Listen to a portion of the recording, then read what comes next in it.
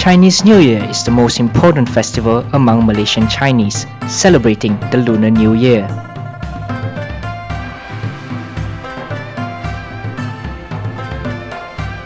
On the first day of Chinese New Year, the Chinese community will pray at temples to seek blessings from God for the upcoming New Year.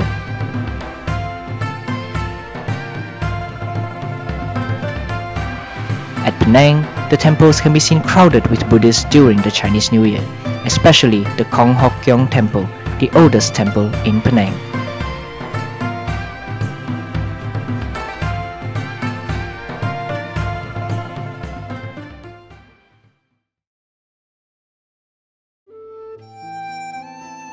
More famously known as Kwan Yin Teng, the temple was built in the year 1800 by Hokkien and Cantonese immigrants in Malacca and Penang.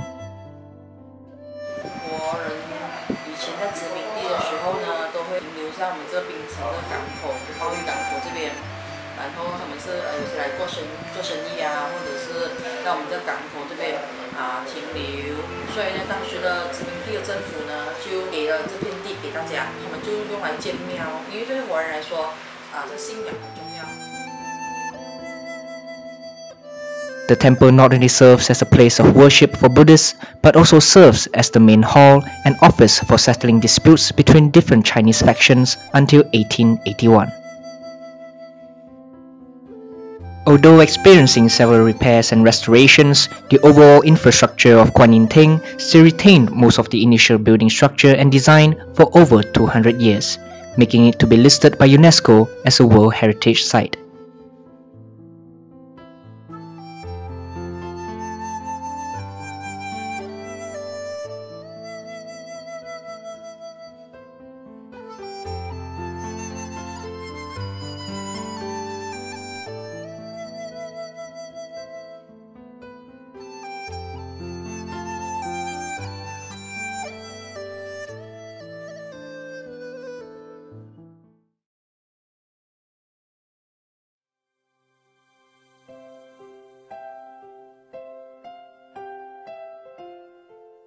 As usual, there are many deities worshipped in a Chinese temple. However, the main deity worshipped in Kuan Yin Teng is the goddess of mercy, known as Kuan Yin.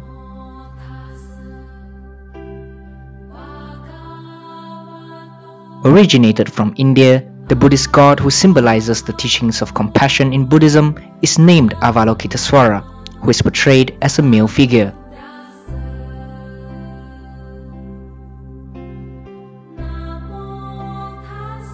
As Buddhism spread to China, Avalokitesvara is worshipped as Kuan Yin, who somehow became a female figure portrayed in Chinese, Japanese, and Korean Buddhism.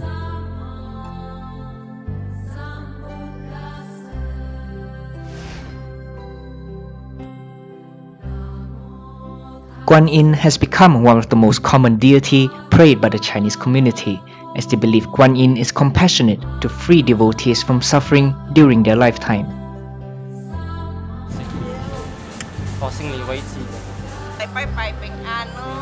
哦，拜拜饼干的话那哦，家人祝福。哦，就是帮家人祈福这样啊。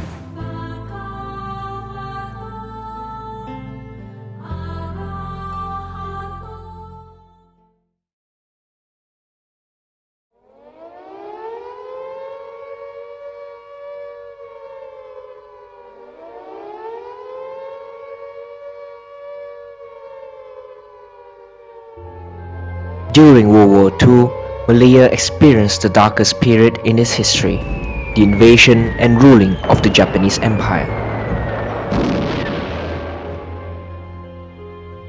During that time, city buildings were greatly damaged or destroyed from airstrikes sparked by the Japanese and British Army, but not for Kuan Yin Temple.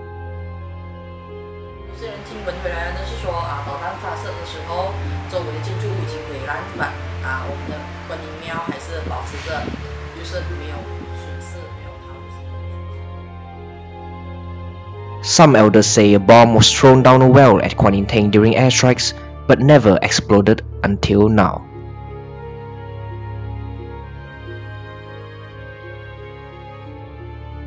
What's more surprising is that the two stone guardian lions at the temple's front doors seems to be alive, as some citizens had seen the lions wandering around the city, and finally came to an end at the year 1902 after the Jubilee Clock Tower was constructed.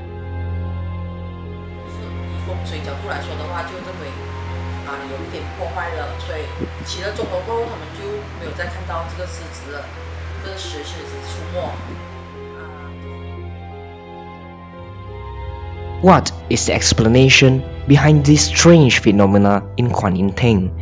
Are they just a myth or actually real? It remains unknown and yet to be solved.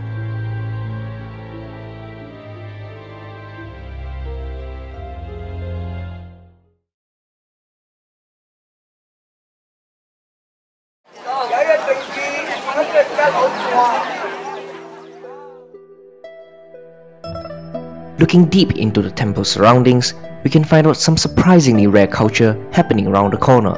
For example, the beggars scattered around the temple.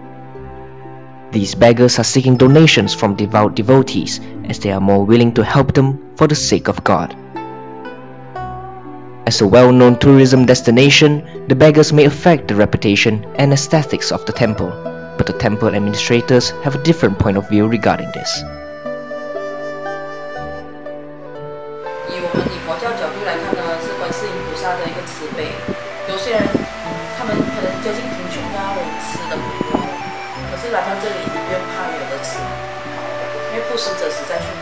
大家有一个概念就是，我做布施，或者是我要行善，我都会呃来观音亭。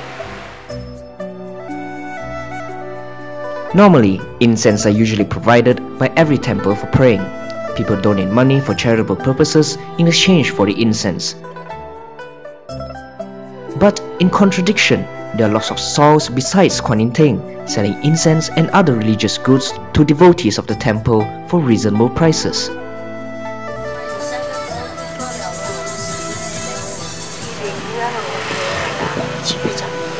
七八十年啊！哦 M B MBB 啊，啊只拜师嘅嚟食，啊，只会当你诶，当你食啲嘢啊但系边有唔可以拜拜师？ Instead of getting it from the temple by donation, some devotees buy the incense, maybe because the religious goods sold are more diverse and well decorated.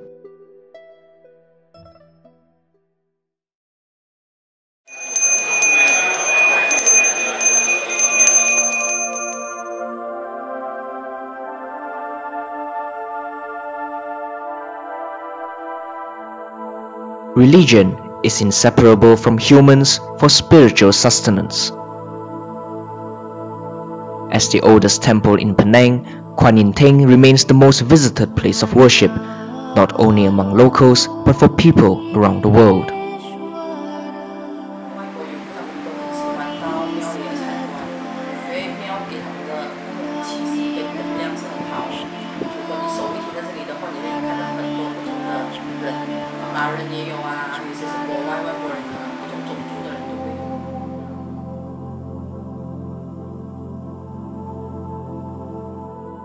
Indeed, it is the history, the myth, and kindness of humans that is the reason people keep returning to this historic landmark.